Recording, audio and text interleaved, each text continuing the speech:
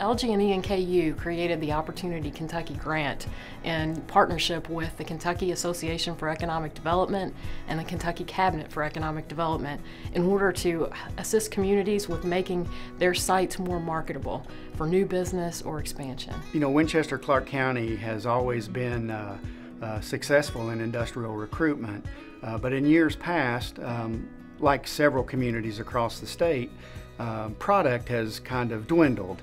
And when I say product, I'm talking about, you know, green space for industrial recruitment or available square footage. So uh, a lot of the communities across the state, including Winchester Clark County, uh, has reached out to their partners.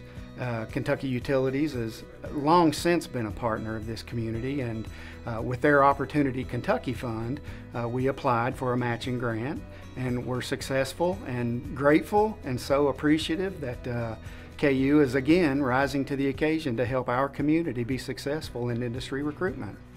This 70 acre rectangular rail served site is already attractive for industrial development. However, the slope is a little steep and the Winchester Clark County Industrial Development Authority is doing some work to regrade the site to make it all the more attractive.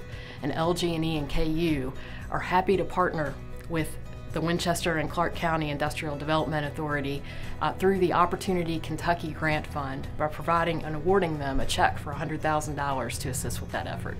When it comes to infrastructure improvements or enhancements or extensions or all those things, KU's always there. Just can't say thank you enough to KU. We at Kentucky Utilities are proud to be able to support economic development in the communities that we serve. This is a win for Winchester, and this is a win for Kentucky as well.